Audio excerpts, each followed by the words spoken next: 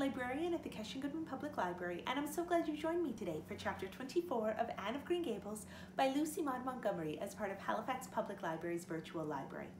Now, when we left off last time, Anne had taken part in a dare given to her by Josie Pye in which she ended up breaking her ankle, being out of school for seven weeks, and she missed out on welcoming the new teacher, Miss Muriel Stacy, to school.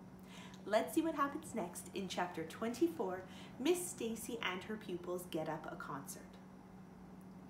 It was October again when Anne was ready to go back to school. A glorious October, all red and gold, with mellow mornings when the valleys were filled with delicate mists as if the spirit of autumn had poured them in for the sun to drain.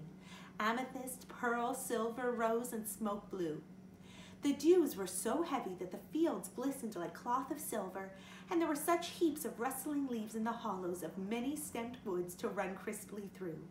The birch path was a canopy of yellow, and the ferns were sere and brown all along it.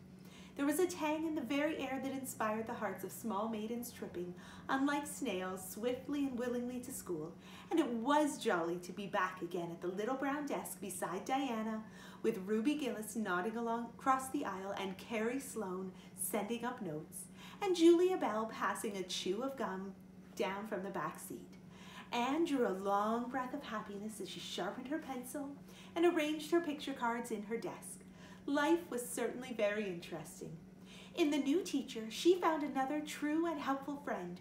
Miss Stacy was a bright, sympathetic young woman with the happy gift of winning and holding the affections of her pupils and bringing out the best that was in them mentally and morally. Anne expanded like a flower under this wholesome influence and carried home to the, ad, to the admiring Matthew and the critical Marilla glowing accounts of schoolwork and aims. I love Miss Stacy with my whole heart, Marilla. She is so ladylike and she has such a sweet voice. When she pronounces my name, I feel instinctively that she's spelling it with an E. We had recitations this afternoon. I just wish you could have been there to hear me recite Mary, Queen of Scots. I just put my whole soul into it. And Ruby Gillis told me coming home that the way I said the line, not for my father's arm, she said, my woman's heart farewell just made her blood run cold. Well now, you might recite it for me some of these days out in the barn, suggested Matthew. Oh, of course I will, said Anne meditatively, but I won't be able to do it so well, I know. It won't be so exciting as it is when you have a whole schoolful before you hanging breathlessly on your words. I know I won't be able to make your blood run cold. Mrs. Lynde says it made her blood run cold to see the boys climbing to the very tops of those big trees on Bell's Hill after crow's nests last Friday. I wonder at Miss Stacy for encouraging it, said Marilla.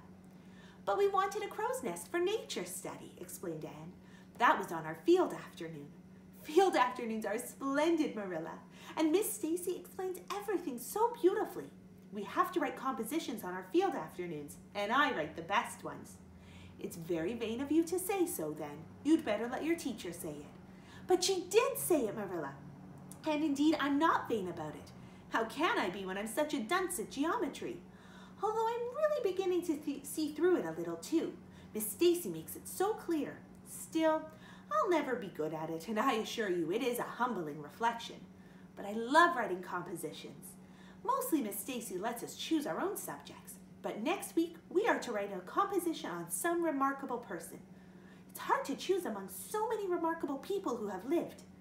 Mustn't it be splendid to be remarkable and have compositions written about you after you're dead? Oh, I would dearly love to be remarkable. I think when I grow up, I'll be a trained nurse and go with the Red Crosses to the field of battle as a messenger of mercy. That is, if I don't go out as a foreign missionary. That would be very romantic. But one would have to be very good to be a missionary, and that would be a stumbling block. We have physical culture exercises every day too. They make you graceful and promote digestion. Promote fiddlesticks, said Marilla, who honestly thought it was all nonsense. But all the field afternoons and recitation Fridays and physical culture contortions paled before a project which Miss Stacy brought forward in November. This was that the scholars of Avonlea School should get up a concert and hold it in the hall on Christmas night for the laudable purpose of helping to pay for a schoolhouse flag. The pupils, one and all, taking graciously to this plan, the preparations for a program were begun at once. And of all the excited performers elect, none was so excited as Anne Shirley, who threw herself into the undertaking heart and soul, hampered as she was by Marilla's disapproval. Marilla thought it was all rank foolishness. It's just filling your heads up with nonsense and taking time that ought to be put on your lessons, she grumbled. I don't approve of children getting up concerts and racing about to practices. It makes them vain and forward and fond of gadding. But think of the worthy object, pleaded Anne. A flag will cultivate a spirit of patriotism, Marilla. Fudge. There's precious, precious little patriotism in the thoughts of any of you. All you want is a good time. Well, when you can combine patriotism and fun, isn't it all right? Of course, it's real nice to be getting up a concert. We're going to have six choruses, and Diana is going to sing a solo. I'm in two dialogues, the Society for the Suppression of Gossip and the Fairy Queen. The boys are going to have a dialogue too. And I'm to have two recitations, Marilla. I just tremble when I think of it. But it's a nice thrilly kind of tremble. And we're to have a tableau at the last. Faith, Hope, and Charity. Diana and Ruby and I are to be in it, all draped in white with flowing hair. I'm to be hoped, to, I'm to be Hope, with my hands clasped so, and my eyes uplifted. I'm going to practice my recitations in the garret. Don't be alarmed if you hear me groaning. I have to groan heart-renderingly in one of them, and it's really hard to get a good artistic groan, Marilla. Josie Pye is sulky because she didn't get the part she wanted in the dialogue. She wanted to be the fairy queen. That would have been ridiculous, for who ever heard of a fairy queen as fat as Josie? Fairy queens must be slender. Jane Andrews is to be the queen, and I am to be one of her maids of honor. Josie says she thinks a red-haired fairy is just as ridiculous as a fat one, but I do not let myself mind what Josie says.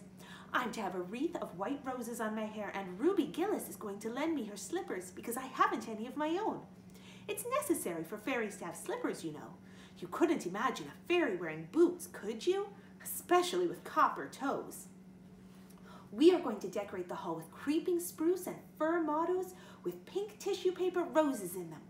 And we are all to march in two by two after the audience is seated while Emma White plays a march on the organ. Oh, Marilla, I know you are not so enthusiastic about it as I am, but don't you hope your little Anne will distinguish herself? All I hope is that you'll behave yourself. I'll be heartily glad when all this fuss is over and you'll be able to settle down. You are simply good for nothing just now with your head stuffed full of dialogues and groans and tableaux. As for your tongue, it's a marvel it's not clean worn out. Anne sighed and betook herself to the backyard, over which a young new moon was shining through the leafless poplar boughs from an apple-green western sky, and where Matthew was splitting wood. Anne perched herself on a block and talked to the concert over with him, sure of an appreciative and sympathetic listener in this instance at least. Well now, I reckon it's going to be a pretty good concert, and I expect you'll do your part fine, he said, smiling down into her eager, vivacious little face. Anne smiled back at him.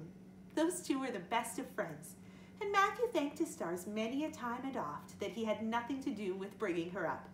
That was Marilla's exclusive duty. If it had been his, he would have been worried over frequent conflicts between inclination and said duty. As it was, he was free to spoil Anne, Marilla's phrasing, as much as he liked. But it was not such a bad arrangement after all.